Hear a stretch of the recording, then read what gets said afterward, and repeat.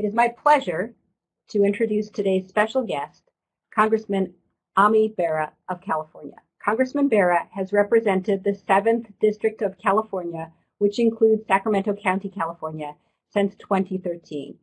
He's one of 17 physicians in Congress, having worked 20 years in primary care medicine and as the lead health official for Sacramento County prior to running for elected office. Congressman Bera serves as vice chair of the House Science, Space, and Technology Committee and also chairs the House Foreign Affairs Subcommittee on Asia, the Pacific, and Nonproliferation. It's in this latter role that Congressman Bera held the first congressional hearing on the novel coronavirus in early February. In his time in Congress, Dr. Bera has been a strong supporter of science, research, and global health, and the American Society for Microbiology is grateful for this support and for his engagement with us since the pandemic began. Specifically, Congressman Bera has championed legislation to require a national testing plan for COVID-19 and to authorize U.S. participation in the International Coalition for Epidemic Preparedness Innovations. Congressman Bera. Thank you for that generous introduction. Yeah, I, I think about COVID-19 as a physician and someone who's worked in the public health space, and it's been um, wonderful working with with um, ASM on, on this endeavor. As you know, we're doing something remarkable here. If you think about everything that's happening in the science community in a relatively short period of time, you know, we've only been dealing with this novel coronavirus for you know, a little over five months, and you know, in, in fact, really ramping things up in you know the last two two and a half months, and you know, what we've been able to accomplish is remarkable. But we also understand that there is likely more that we don't know about this virus than we do. Um, and as we all work together, you know, it's been remarkable watching the scientific community come together to share information, to collaborate, both on um, rapidly looking at uh, creating the best diagnostic tests, looking at the information that we're getting from serologic tests, but then also as we watch the, the vaccine development space come together, it, it really has been remarkable.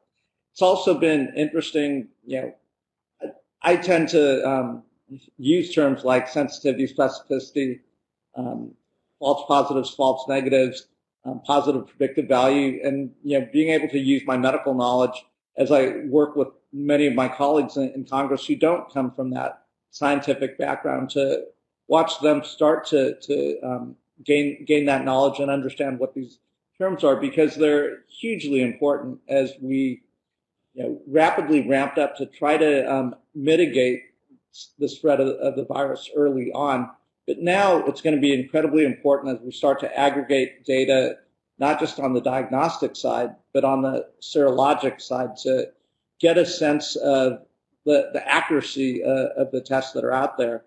Um, certainly there are concerns of, you know, some of the, the false negative um, rates on the, the diagnostic tests that are there. And it'll be very important for us to understand what that false negative rates are of various diagnostic tests as we start to make policy decisions um, in terms of opening up, in terms of um, identifying cases and, and doing containment.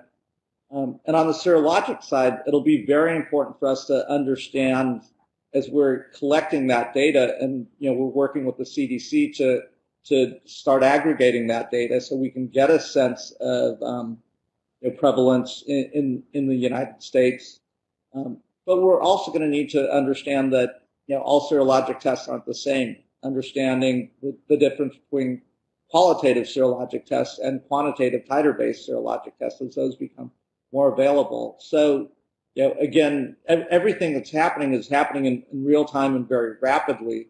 Um, a few key principles that you know, I know we, have talked with ASM about and, and others is as much as we can do in a, a transparent way as we're sharing information across academic institutions and across you know, commercial labs, um, it's going to be incredibly important. And the more we can do sharing information globally, since we know this is not a virus that's impacting one community or one state or one country, but it's impacting the entire world at the same time. And the more we can take that global approach, sharing data and information um, across um, country borders will also help us get ahead of this virus. Um, you know, most of us know that we are likely in, you know, using a baseball analogy in the first innings of this game. And most of us expect that you know, come fall, come winter, we will see a, a resurgence of this virus, which may actually be worse than you know, this first phase was. So it also behooves us to start looking at best practices, learning um, what we've learned from these first few innings, and starting to prepare for how we address you know, the, the next phases of, uh, of this virus as it continues to spread, knowing that parts of the, the country are continuing to see rising cases and still um, dealing with that first phase. Um, this is where it's going to be really important for us as members of Congress to work with the academic community, to work with organizations like ASM, um, to help ASM inform our decision making. Um, so it's based in science and, and, and fact and, and not in politics. Um, and the best we can do to try to keep the politics out of this will certainly help us, um, you know, address and get ahead of this this um, pandemic. At, at, the end of the day, though, we also know that we won't defeat this virus until we have a safe and effective vaccine. We have the ability to not just vaccinate 330 million Americans, but to um, vaccinate six to seven billion Americans, uh, or six to seven billion people around the world um, the logistics to, to, to manufacture the vaccine, the logistics to create the vials and the syringes and the global health workforce. So we have a monumental task ahead of us. I am optimistic that we can do this, um, but the pillars are going to be making sure it's science-based, making sure we work together as a global community, and we will defeat this virus. And I think we will come out on the back end with more resilience and, and you know, in a more compassionate, collaborative space um, on the global level. So I really do look forward to, to continuing to work with ASM and, certainly um, with my colleagues in, in, in, Congress. There's still a long road ahead of us, but what we've been able to accomplish in the last um, two and a half, three months is pretty remarkable. Um, but let's continue to be vigilant. Let's continue to work together, and we will um, come out of this if we work together in a stronger place. So thank you to everyone who's on this call. Thank you to um, the association um, and you know the Society of Microbiologists. Really do appreciate all the work that, that all of you are doing and look forward to continuing to work with ASM. Be kind, be safe, and be well. Thank you, Congressman Bera. I will now introduce our experts for today. Dr. Esther Babady is the medical director of the Clinical Microbiology Service, Departments of Laboratory Medicine and Infectious Disease at Memorial Sloan Kettering Cancer Center. A clinical microbiologist with expertise in molecular diagnosis of infectious diseases, Dr. Babady oversees specimen testing in the laboratory and provides clinical consultation regarding the ordering of diagnostic tests and interpreting of their results. Her research interests include the development, validation, and clinical evaluation of molecular tests that offer faster and more sensitive diagnosis of infectious diseases with the goal of improving patient care. Dr. Babady and her laboratory have also been on the front lines of the pandemic being located in New York City and also in an institution that serves a population with unique healthcare needs and compromised immunity. Dr. Elitza Theel is the director of the Infectious Diseases Serology Laboratory and an associate professor of laboratory medicine and pathology at the Mayo Clinic. Dr. Theel's research interests include the development of new serologic assays and the evaluation of currently available serologic testing methods to aid in the diagnosis of bacterial, viral, fungal, and parasitic infectious diseases. She has been a leader in the effort to understand the antibody response to COVID-19 and how to measure this. The testing platforms and assays that Dr. Theel develops and validates help guide patient diagnosis and therapeutic management of infectious diseases at the Mayo Clinic and for patients served through Mayo Clinic laboratories. I will now turn it over to Dr. Babady. Thank you, Dr. Patel, for the introduction, and thank you, ASM, for the opportunity to talk today about COVID-19 diagnostic. As Dr. Patel mentioned, I'm the director of microbiology at Memorial Sloan Kettering Cancer Center. And um, I'm really honored today to be able to share with you and discuss uh, COVID-19 diagnostics, particularly as it applied to molecular testing.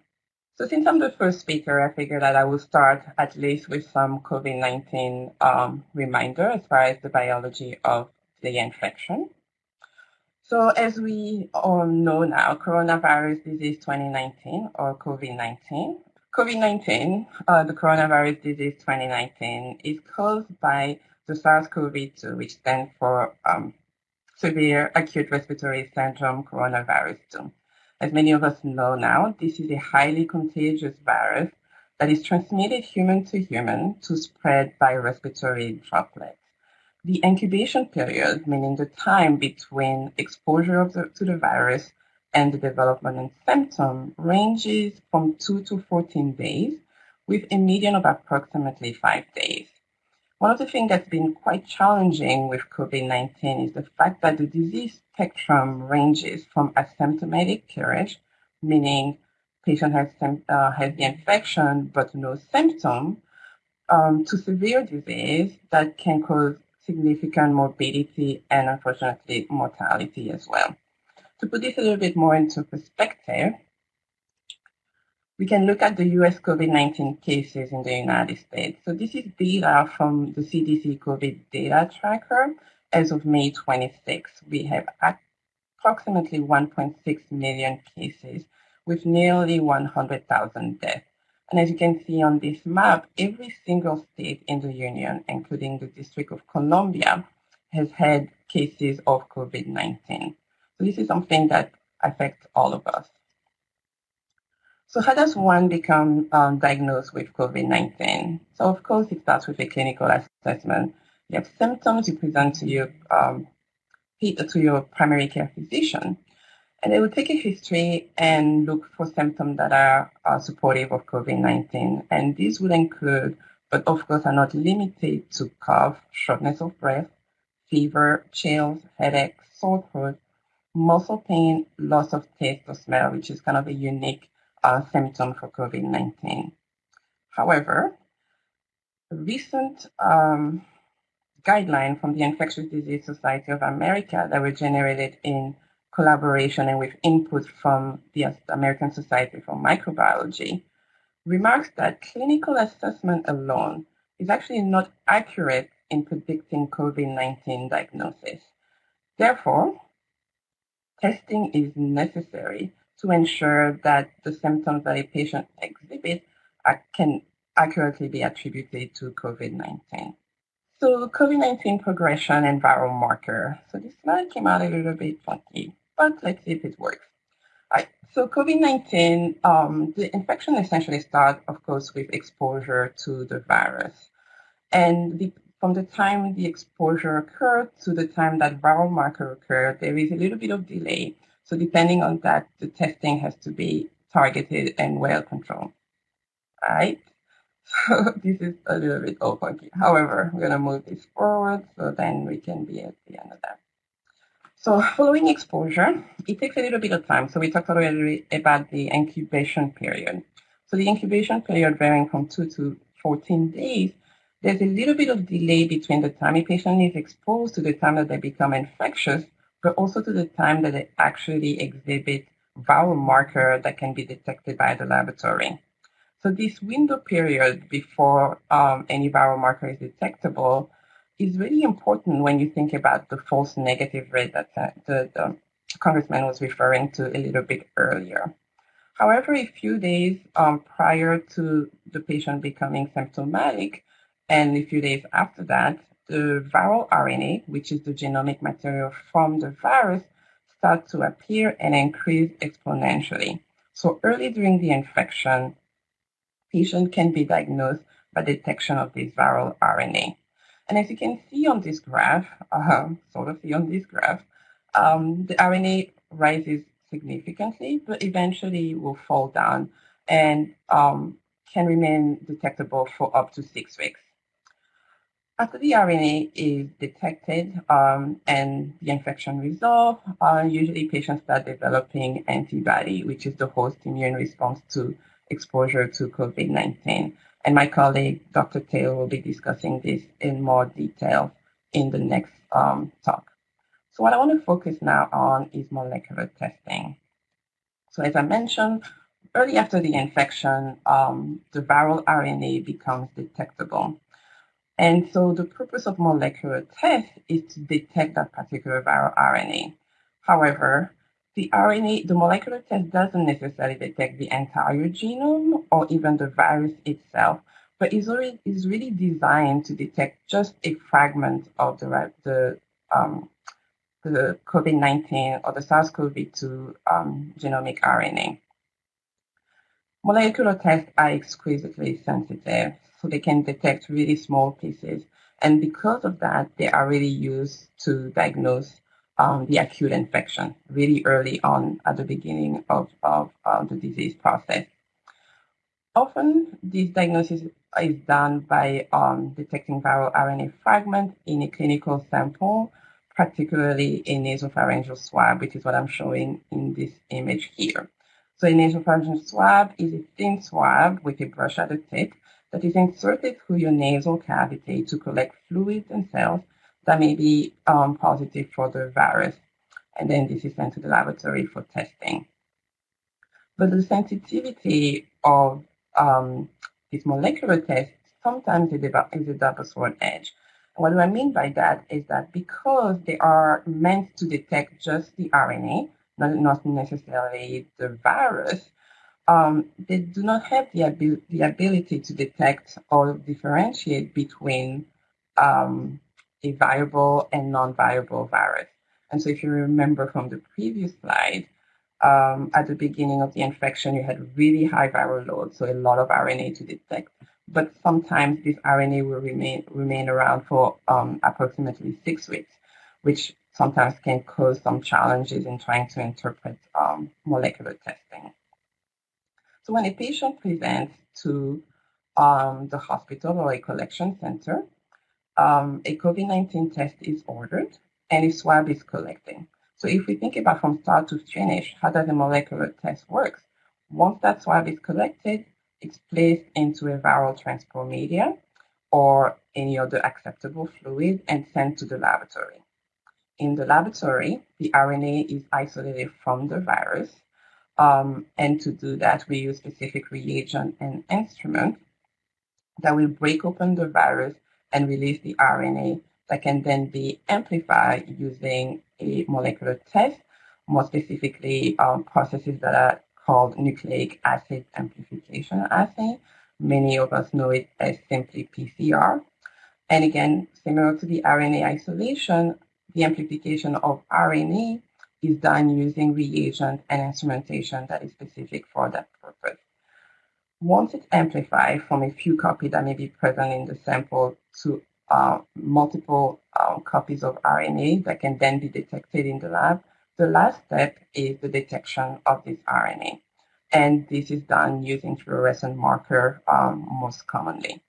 So from beginning to end, um, the RNA isolation, the amplification, and the detection can occur either in the same instrumentation, and then we know that we have some rapid tests that are miniaturized to do this at a point of care, but can also occur in different instrumentation. But from beginning to end, depending on the platform that one uses, it takes anywhere from five to 10 minutes to several hours to um, let a patient know if they have COVID-19 or not. So this is how a molecular test works what does it actually take to develop this assay? So developing molecular tests is quite a complex process. Um, and um, essentially start with having the molecular diagnostic expertise in the laboratory. So ideally, this would be a laboratory director, like many members of ASM, or someone else in the lab that has knowledge of diagnostic, meaning they understand how to design the assay and they understand how to put them in place in the laboratory.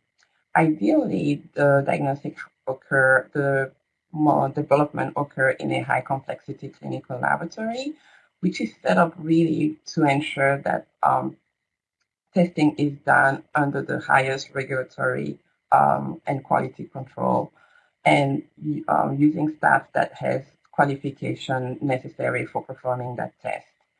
Not a small thing, the fact that um, developing molecular tests require a significant financial um, investment. And again, I can't emphasize this enough, experienced staff that is able to um, perform the testing. Finally, um, reagent and, sam- and sample, especially samples that are positive for the virus that we're trying to detect. And this was definitely a big challenge in um, laboratory trying to develop COVID-19, access to reagent and access to known positive sample. At the end of the, um, uh, once we have all of these pieces together, then we can optimize the test, meaning that we can make sure that the test work for different collection um, um, type, for different specimen type, and implement them in the hospital in a way that makes it really simple for the clinician reading the report to understand um, the results generated by the laboratory. So not a small, a small endeavor, a rather complex process. So you've heard me talk a little bit about sensitivity and saying that the assays are exquisitely sensitive.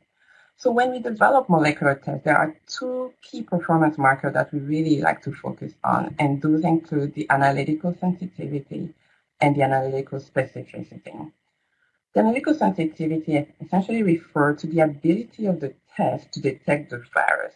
And the lower the amount of uh, virus a test can detect, the higher the sensitivity. So it's very important performance characteristic. Analytical specificity, on the other hand, refers to the ability of the, of the test to only detect the virus, meaning if a patient has, let's say, influenza, the test is not going to call it COVID-19. As of last week, there was approximately 63 vendor and 28 laboratory that had approved tests on the FDA COVID-19. They had approval from the FDA under a emergency use authorization. And as you can see on the slide, while they, most of them are quite specific, 99 to 100% um, specific, the analytical sensitivity vary greatly, almost a thousand-fold different, meaning that some of the assays on the market right now may have a um, can detect as little as 100 copies of the COVID-19 um, RNA, while some may require 100,000 copies. So there's quite a difference in the sensitivity of many of these tests that are currently available.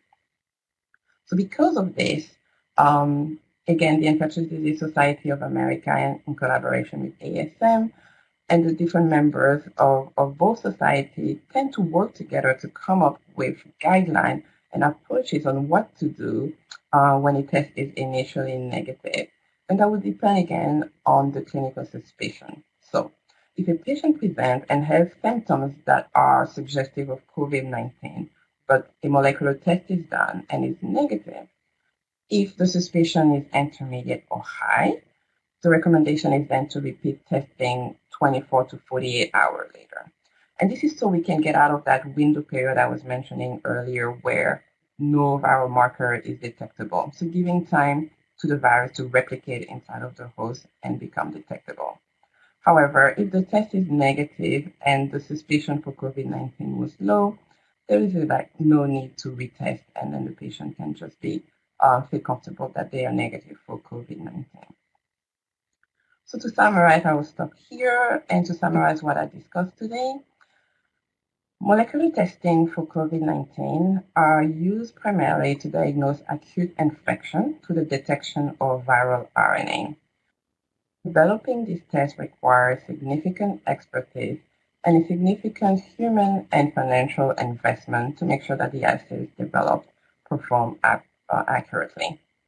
Uh, finally, the interpretation will, may, will require clinical and laboratory guidance for optimal result interpretation, since members of ASM as well as um, Great. Uh, many you. of the other laboratory directors have a great understanding uh, so I will transition talking about serologic or antibody tests for SARS-CoV-2. And again, these are tests that we use to detect our immune response to the virus rather than detecting the virus itself.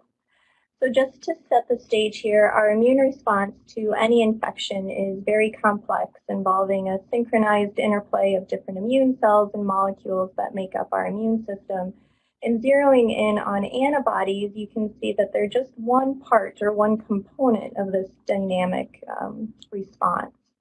So antibodies themselves are small proteins that are found in blood. They're able to recognize and bind to an infectious agent at specific regions on its surface called antigens, which you can see in the image here. There are five different types or classes of antibodies. However, for, for the most part, all of the serologic or antibody tests that have been developed for COVID-19 detect either IgM, IgG, uh, class antibodies, or total uh, antibodies. And very briefly, IgM class antibodies are typically the first to form after an infection and then they become undetectable about two to three months later, whereas IgG class antibodies form soon after IgM, and these are the long lasting antibodies that are present for months to potentially years and decades after infection.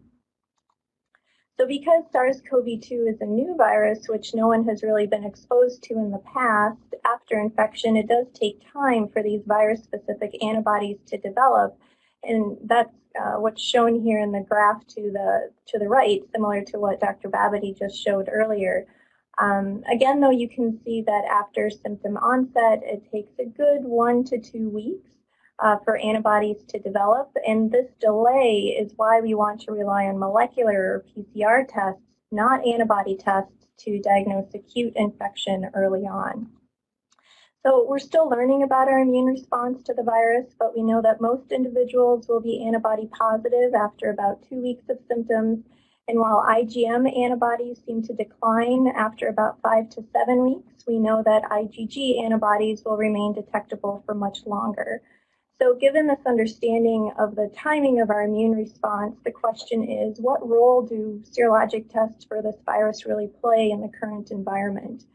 And so there's a general consensus amongst multiple organizations that serologic testing is useful for the purposes of epidemiologic or prevalence studies. Um, additionally, these antibody tests are necessary for identification of potential convalescent plasma donors, and they'll be essential to evaluate the efficacy of candidate vaccines as they enter clinical trials. And then these tests can be used as potential aids for the diagnosis of recent COVID-19 in patients who are negative by molecular tests and again, who present later on in their disease course. Then there's also scenarios for when antibody testing is not recommended, including, again, as mentioned, for diagnosis of acute infection. They should also not be used to determine whether or not a patient has developed protective immunity against reinfection and because of that particular unknown, antibody results really can't yet be used to guide um, and, and, make decisions on whether personal protective equipment should be used or whether or not an individual should adhere to social distancing practices or recommendations. So with that background, I'll move on to what testing is currently available um, for antibody testing, and that includes about 190 commercial serologic tests, a list of which you can kind of see below. Um, 12 of these tests have received emergency use authorization from the FDA. And last week, the FDA announced that 29 serologic tests or manufacturers either did not submit for or did not receive emergency use authorization. And so they recommend that those tests no longer be used or distributed. So the serologic tests really differ in their design, including in their format, and for the most part, uh, the, they can be separated as either lateral flow assays, uh, which are pretty rapid, or they are more complicated enzyme-linked immunosorbent assays or chemiluminescent-based assays. And very briefly, these lateral flow assays are essentially like a pregnancy test. They're quick to perform in 10 to 15 minutes off of a blood sample. And if authorized as such, these are the tests that can be used at the point of care. On the other hand, ELISAs and chemiluminescent assays take longer to perform. However, more patients can be tested at once. And these tests are automated on instruments rather than being done one by one by hand, like the lateral flow tests. And so because of that, these tests are really preferred by most hospital labs as well as uh, reference labs throughout the U.S.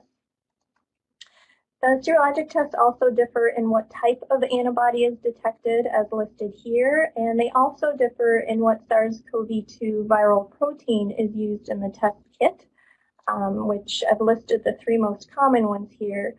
But my point with this slide is really to show that there's quite a bit of variety between the serologic tests that are available. And because of these differences, at least to an extent, uh, you can imagine that not all of them will perform identically.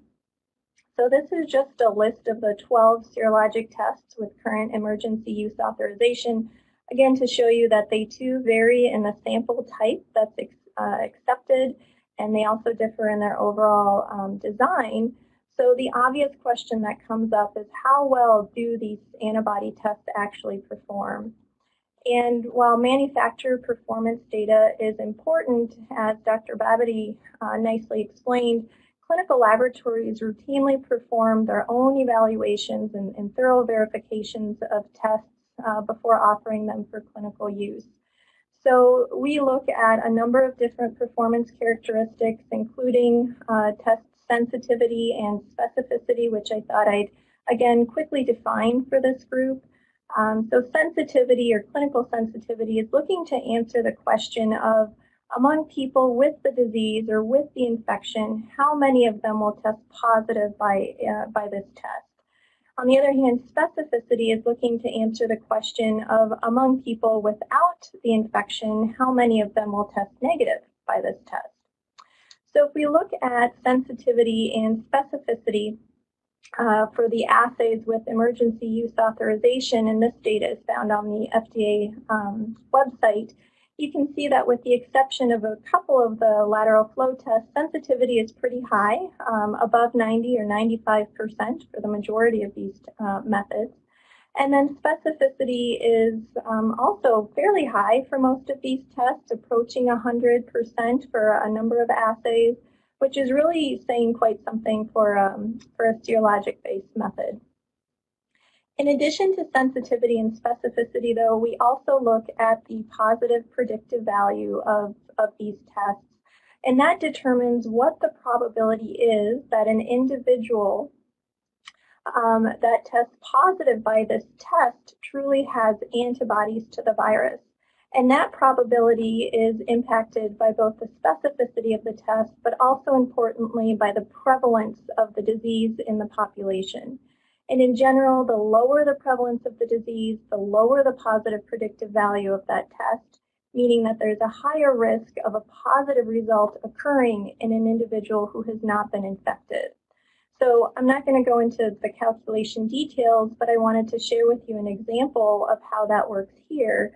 So we're using the exact same test with excellent sensitivity and specificity, but we find that if we test 1,000 individuals from a region with a 1% prevalence of COVID-19, the positive predictive value of this test is only about 47%, meaning that the probability that an individual who tests positive truly has antibodies to COVID-19 is only about 50%.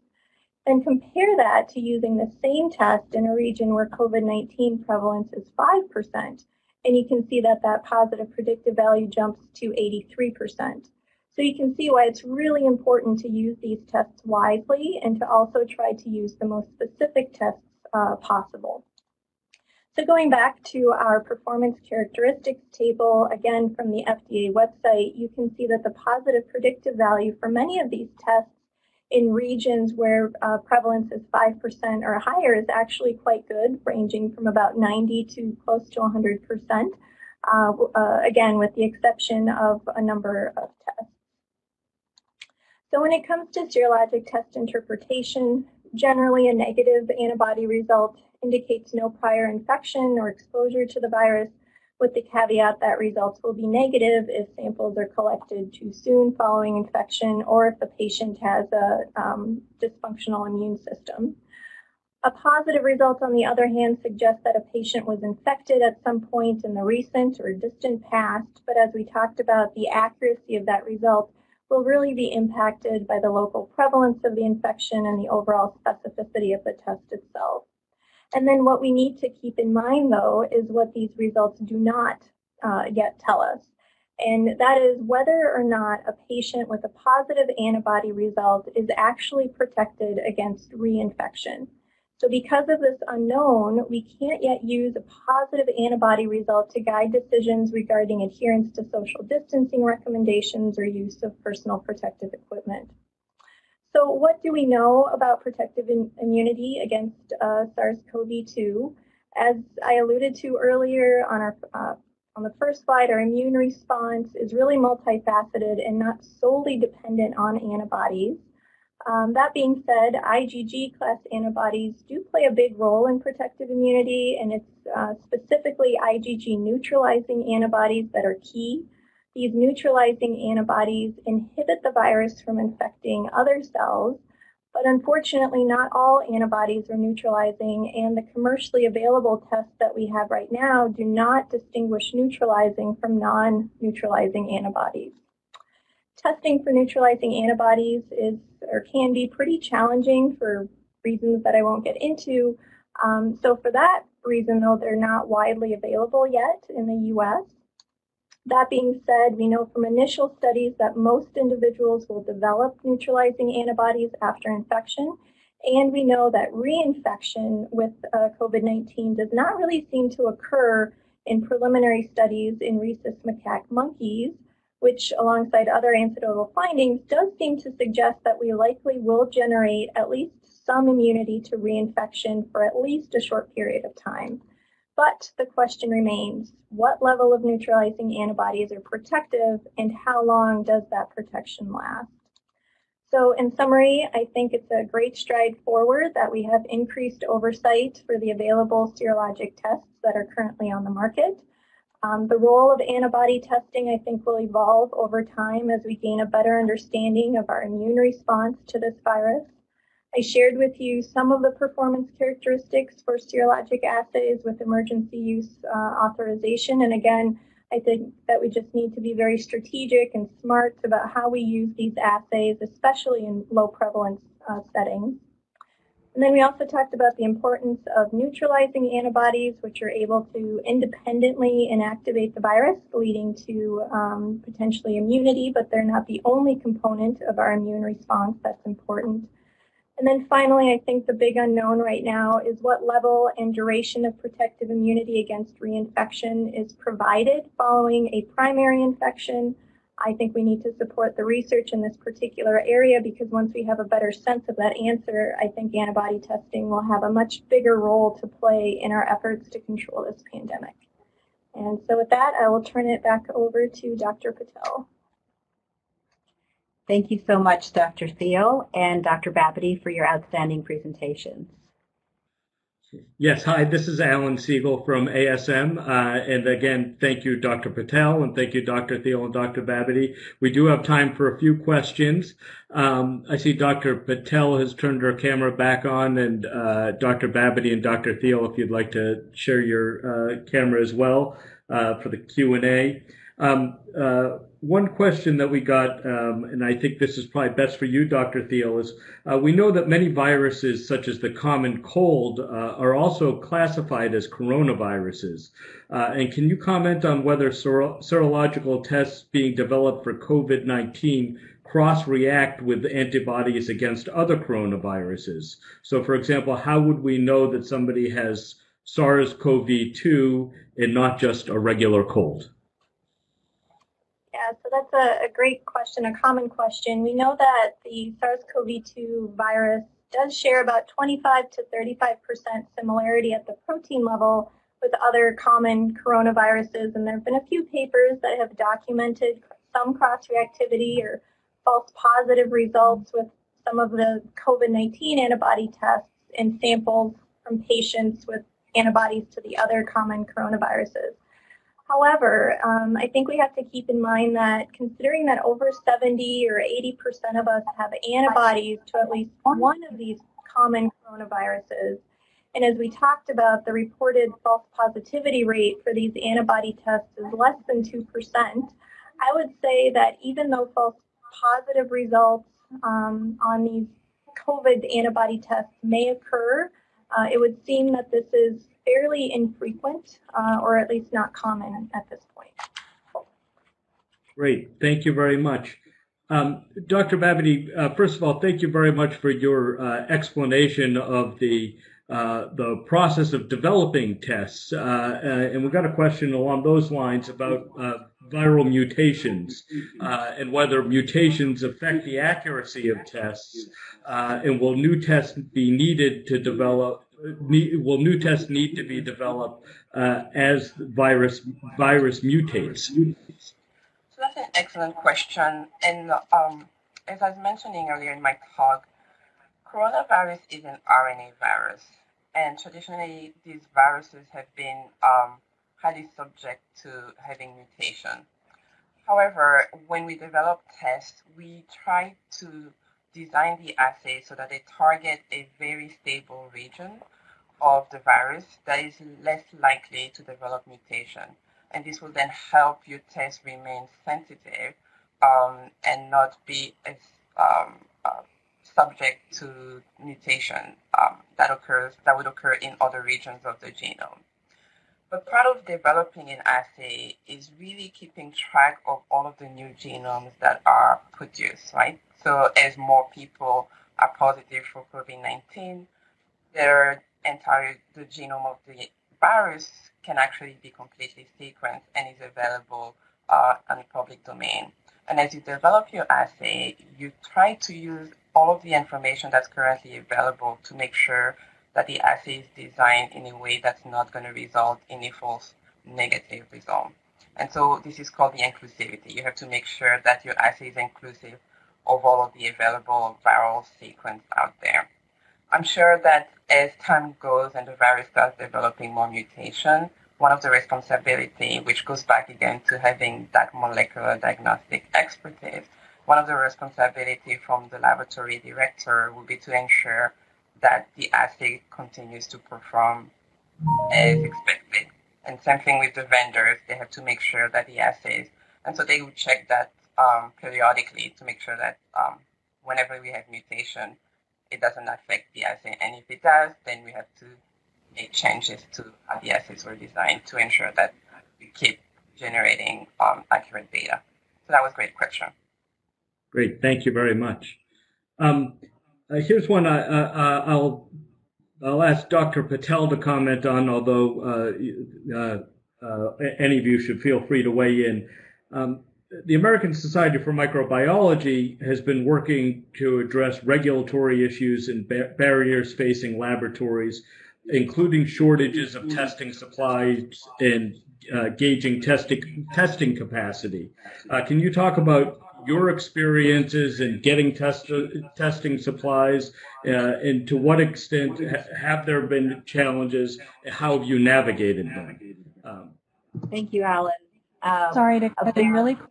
Uh, just wanted to note that it was requested if the presenters could please speak up. Thank you so much. Sorry, continue. Can you hear me okay? Yes. Yes.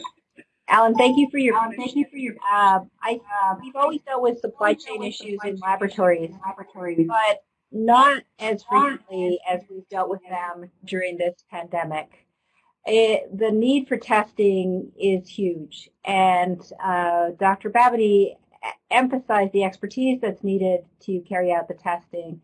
But on top of that, uh, just the sheer volume of instrumentation and what we call reagents, which is a term that I now understand most people don't recognize, um, all the all the things you need to do to do a test um, have become strained uh, throughout this epidemic. Uh, and uh, so we've we really needed help. We've needed help to understand where the gaps are, where the supply chain issues really are, and how to get the needed supplies to laboratories so that testing can be done. Testing is complex. It's it's not just uh, sort of a kit that you you buy and everything comes in the box uh, and and you can get it done.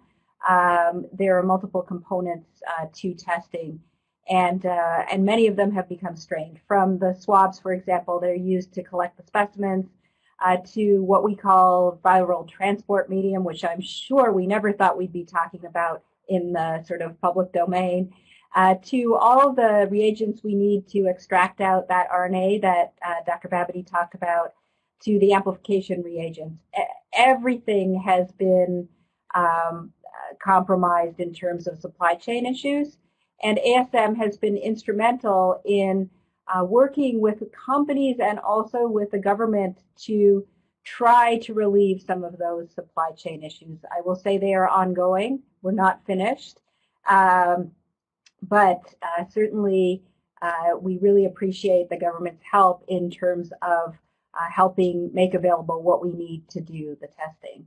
Uh, we've also been working with regulatory agencies to make sure that uh, we can get tests out there, but also that the tests that are out there are safe and effective for their use. Um, that's a tricky balance, obviously, uh, but uh, something that uh, we've been advocating for and, and fortunately uh, have had a very good relationship with the FDA uh, throughout this whole pandemic to, to, try to navigate an appropriate appropriate path to make testing available but safe at the same time. Great, thank you very much. Uh, I think we have time for one last question. Um, uh, one of the things that you discussed, Dr. Theel, was the, the role of antibody testing uh, to ass- assess prevalence, uh, which can help inform and guide our public health response and understanding for how the virus is spreading in the community. So, uh, how uh, how do your labs work with public health officials who are trying to track and trace what is happening with the virus? Um, yeah, so like like you said, one of the primary roles of antibody testing right now is looking for prevalence. So we have worked closely with our um, uh, public health lab here in Minnesota to you know make sure that we're reporting the right uh, results in a timely fashion. We also, as a reference laboratory practice, you know we send out those results to all public health labs um, and then take back feedback from them, um, you know, to make sure that we're reporting what they want and, in a way that is um, understandable and, and, usable for them. Great. Uh, thank you very much. I'd like to thank our uh, our panelists today uh, and our host, uh, Dr. Patel. Uh, this has been a wonderfully informative session. Thanks, everyone.